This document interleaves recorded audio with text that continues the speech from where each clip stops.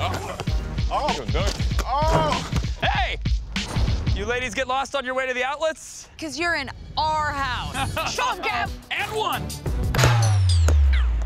I thought there would be more air in that. I really did. Ah, that's embarrassing. Don't worry. Don't worry. I got some hacks that'll get our bounce back. You know what I mean? Because this right, is all um, hack versus hack. Out of here. I got it. Brought to you by Metro PCS. Saggy balls are no fun to play with. So today we're testing out some hacks for blowing up basketballs in case you don't have a pump nearby. And to help us determine which hack is going to be the king of the court, we're joined by three stars of the Los Angeles Lakers development team Zach, Andre, and Justin. Is there a way to, to know that a basketball is properly inflated? Yeah, there's a general rule. If you outstretch your arm, when you drop it, it should come back and hit your elbow. So this one, it's about good to go. I learned something today. Well, we're gonna learn a lot today because we have three hacks that may actually help you get air inside of a deflated basketball. This should be interesting. yeah. Mm. Okay, hack number one is a balloon. Put a coffee stir on the end of it, kind of the way you would a needle, attached with some duct tape, and let her rip.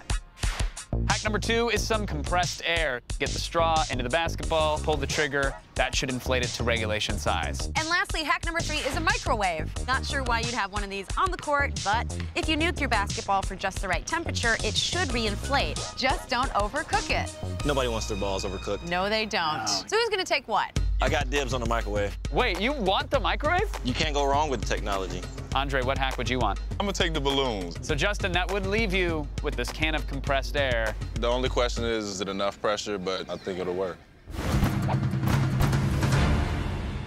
The rules are simple. Whoever can get air back in that ball the fastest, they're the winner.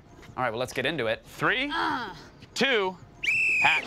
Oh, God. Oh, man. Yeah. Okay, there's a basketball almost in a microwave. That's All part right. of the issue. Okay. Wow, He mashed it. How long you putting that in the microwave? 30 seconds. Okay. really? Okay, Andre's blown up a balloon. There's a lot of finessing. You don't want to pop it.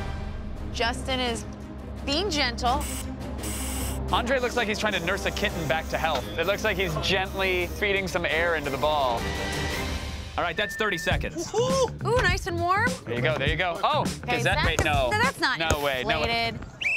Inflated. Zach, Hold Zach, on. sorry, buddy, we got to call you back here. It just needs a little more time. Yeah, okay, Sure. that's probably what it is. Yeah. Sure. So I think what's happening is that the microwaves, well, they're heating up the air that's inside Right. the ball, so that's making it expand. But once it cools down, is that working at all, Andre? Uh, a little bit. Yeah? Need about eight balloons, though.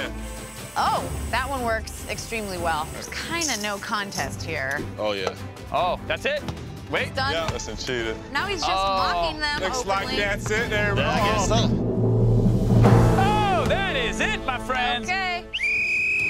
Justin made the right call. Compressed air takes the win. This hack was the clear winner. No gimmicks, no tricks. And you get to go home with this. Oh, yes. The gold-plated pump. Oh. The winner of this hack versus hack is Justin and the can of compressed air.